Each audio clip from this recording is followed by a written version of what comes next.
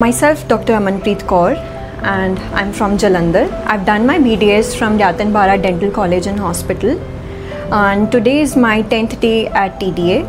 I have done a total of um, 11 RCTs as of today, and I've done several courses of post and core and n number of checkups, and which was possible only because of a large number of camps which are being organized by TDA team and I'm very thankful to them.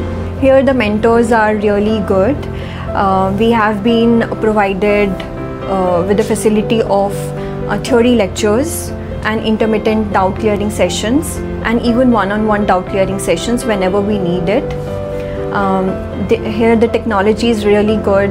Um, here we have access to uh, intraoral cameras, intraoral scanners, OPGs, CBCTs. So orientation regarding everything is uh, most importantly the sterilization is spot on. It is very effective here and overall my experience was very good here.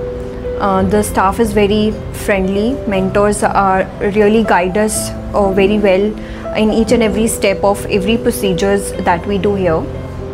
I really recommend all the uh, newcomers in dentistry to come here and join so that they can also enrich their clinical experience just like me. Thank you.